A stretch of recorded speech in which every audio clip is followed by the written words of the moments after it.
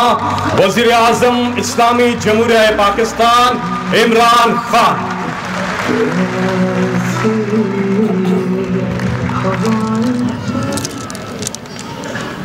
بسم اللہ الرحمن الرحیم۔ ڈاکٹر ثانیہ نشتر، میں آج آپ کو دل سے مبارک دیتا ہوں۔ اس لیے میں اس لیے مبارک دیتا ہوں کہ ہم بڑی دیر سے انتظار کر رہے تھے اس پروگرام کے لیے۔ پریشر آپ کے اوپر بہت تھا۔ کیونکہ لوگوں کے لیے مشکلات تھیں۔ حکومت مسلسل تنقید ہو رہی تھی۔ ایک مشکل وقت پاکستان کے اوپر آیا ہوا ہے کہ ایک بینکرپٹ اکانومی تھی۔ اور جب بھی اس سے ایک ملک نکلتا ہے تو مشکل وقت آتا ہے۔ تو اس کے اندر بڑا پریشر تھا آپ کے اوپر کہ ہم چاہتے تھے جلدی جلدی آپ یہ پروگرام لے کے آئیں۔ تاکہ نیچے لوگوں کو جو تکلیف ہے جلدی سے ہم ان کو پیسے پہنچائیں، جو ہم نے اتنا بڑا پہلی دفعہ پاکستان کی تاریخ میں تقریباً دو سو ارب روپیہ ہم نے صرف اپنے احساس پروگرام میں، اپنے کمزور طبقے کے لیے رکھا تھا۔ تو ہم چاہتے تھے اب جلدی جلدی خرچ کریں۔ لیکن میں آج آپ کو اس لیے خراج تحسین پیش کرتا ہوں کہ میرا بھی آپ کے اوپر پریشر تھا، میری کیبنٹ کا بھی آپ کے اوپر پریشر تھا۔ اس کے باوجود آپ نے پورا دیانتداری سے پورے وہ سسٹم بنائے۔ جو سسٹم چاہیے تھے، نیچے غریب طبقے کو دیانتداری سے پیسہ پہنچے۔ جو تقریباً آٹھ لاکھ آپ نے ڈیٹا اینالیٹکس کے ذریعے ان لوگوں کو جو آپ نے باہر نکالا، جو کہ گورنمنٹ سرونٹس تھے، بڑے آفیسرز تھے، وہ پیسہ لے رہے تھے، جو پیسہ ان غریب کمزور طبقے کے لیے تھا۔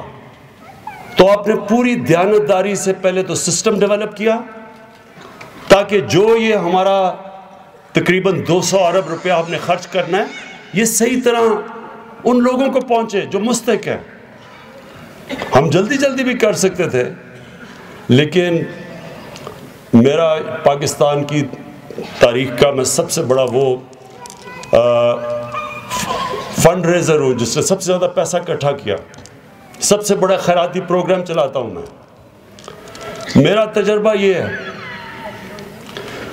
کہ جب یہ آپ اللہ کے لیے کام کرتے ہیں اور یہ کام اللہ کا ہے، اللہ کو جو سب سے چیز پسند ہے کہ جو انسانیت کا تقاضا ہے کہ آپ اپنے کمزور طبقے کی مدد کریں، آپ دکھی انسانیت کی مدد کریں، تو وہ جو پیسہ آپ اکٹھا کرتے ہیں، اس میں جب دیانتداری نہیں ہوتی اللہ کی برکت اٹھ جاتی ہے اور وہ کبھی پروگرام کامیاب نہیں ہوتا۔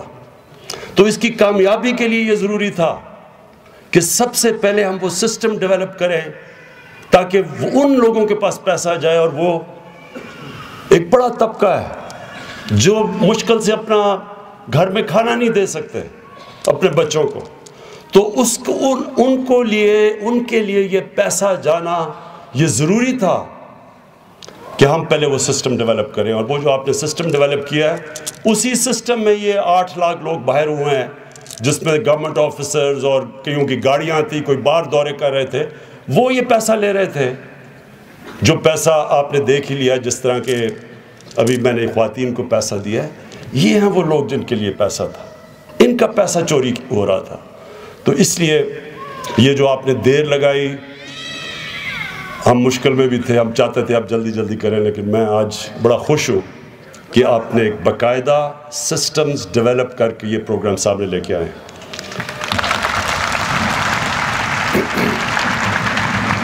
اس میں دو چیزیں جو خواتین کے لیے بڑی ضروری ہیں، جو بچاری اس وقت سب سے ہمارے کمزور طبقے میں ایک، ان کا بینک اکاؤنٹ کھولنا۔ یہ بڑی ایک زبردست چیز ہے اس سے جو پیسہ جو چوری ہوتا تھا وہ چوری نہیں ہوگا۔ دوسری چیز جو آپ نے وہ جو اگلا جو کارڈ لے کے آ رہی ہیں، اس کے ذریعے یوٹیلیٹی سٹور سے بھی چیزیں لے سکتی ہیں۔ ہم یوٹیلیٹی سٹورز کے ذریعے چیزیں دے سکتے ہیں۔ اور یہ جیسے جیسے آپ کا سسٹم آگے جائے گا، ہم اس کارڈ کے ذریعے وہ بتا سکتی ہے اگر مشکل ہو کہ ہم ہم ان کے لیے کیا کر سکتے ہیں؟ اور پھر یہ جو دوسری چیز اسمارٹ فون دینا۔ اسمارٹ فون ایک دنیا میں انقلاب لے کے آ رہا ہے۔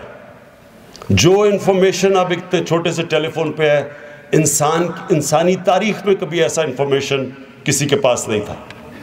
اب جیسے جیسے وہ اسمارٹ فونز اب ہم اس کا ایک طریقہ نکال رہے ہیں، پہنچائیں گے یہاں، تو ان کو موقع مل جائے گا۔ اس فون کے ذریعے انفارمیشن مل جائے گی۔ ان کے بچے شروع سے وہ اسمارٹ فون استعمال کرنا شروع کریں گے، وہ وہی ان کی تعلیم ان کو وہ مل جائے گی۔ جو کہ آپ یہ دیکھیں کہ دس سال، پندرہ سال پہلے دیہات میں رہتے تھے، لوگ وہ ٹیلی فون کا صحیح استعمال نہیں کرتے تھے۔ اب دیہات کے اندر تبدیلیاں آ رہی ہیں۔ جدھر تعلیم نہیں ہے، تعلیم بھی صحیح طرح نہیں ہے، فون کی وجہ سے تعلیم آنی شروع ہو گئی ہے۔ یہ ایک دنیا بڑی تیزی سے آگے جا رہی ہے۔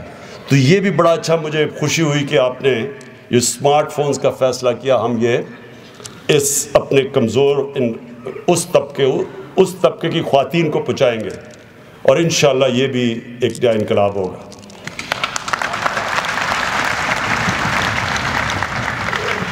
انشاءاللہ دو ہفتے میں اگلا پروگرام آئے گا ہمارا احساس کا۔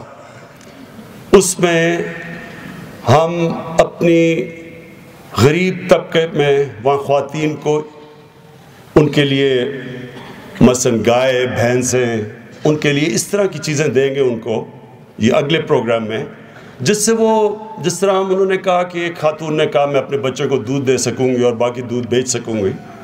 یہ یہ انشاءاللہ یہ بھی ایک انقلاب آئے گا۔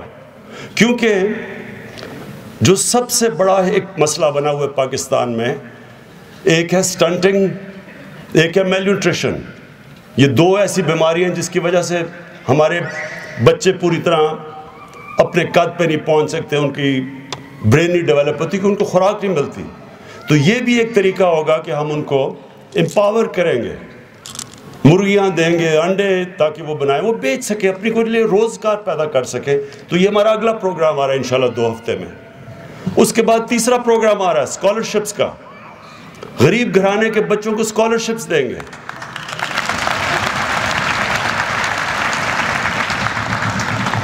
اور اس سب کا مقصد ایک ہے، اس سب کا مقصد ایک ہے کہ یہ پاکستان کو ہم وہ ریاست بنائیں جو اس کو بننا چاہیے تھا۔ ایک فلائی ریاست، ایک ریاست جو ذمہ داری لے اپنے اس طبقے کی جس کو دنیا پیچھے چھوڑ گئی ہے۔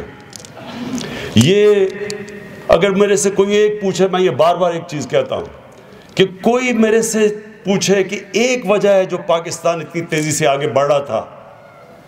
شروع میں پاکستان سکسٹیز میں ساٹھ کی دہائی میں بڑی تیزی سے آگے بڑھ رہا تھا۔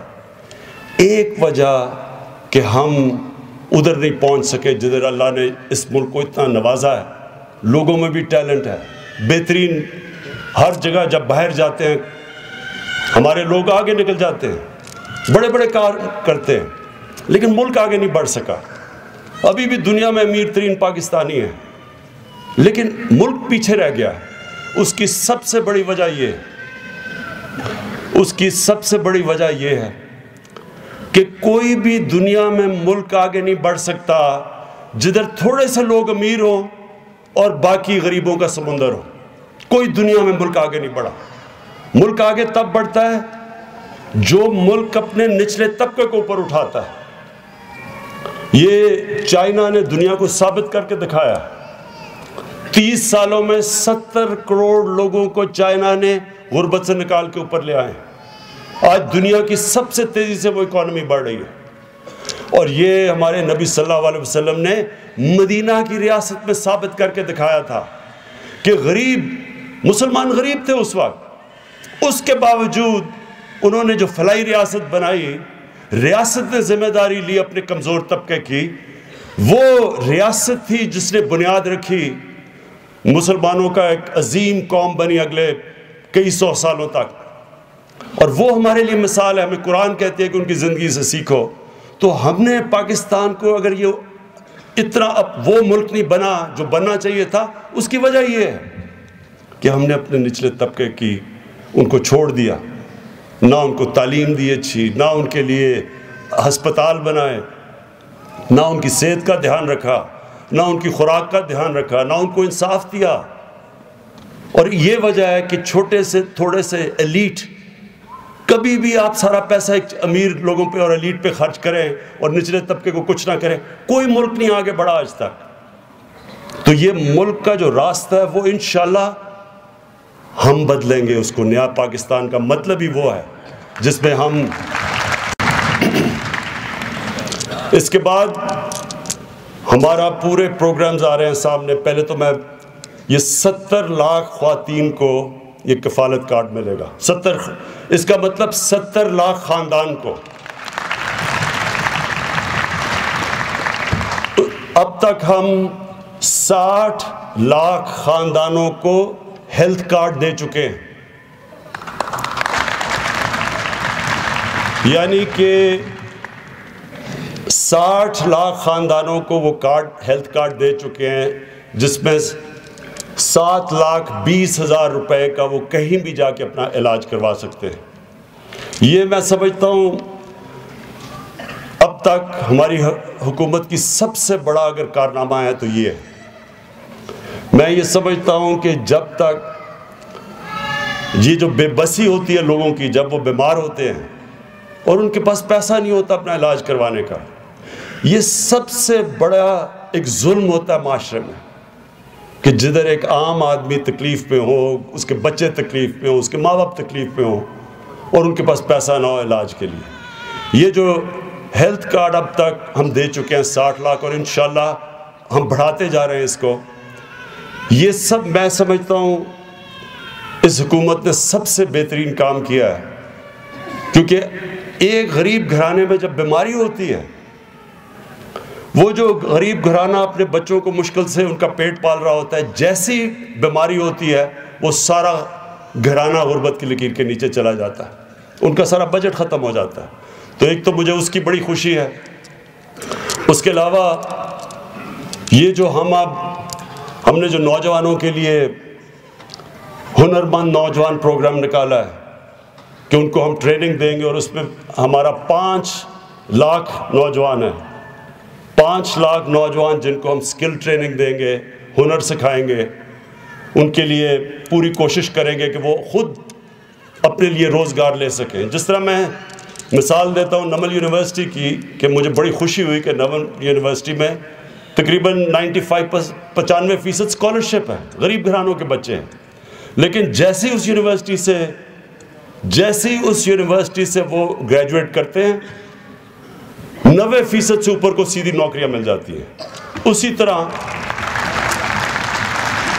اسی طرح جو ہمارا یہ ہنر مند نوجوان کا پروگرام ہے، وہ بھی یہی کوشش کرے گا کہ جلدی ان کو کورسز دیں، ہنر سیکھیں، ان کو نوکریاں ملیں۔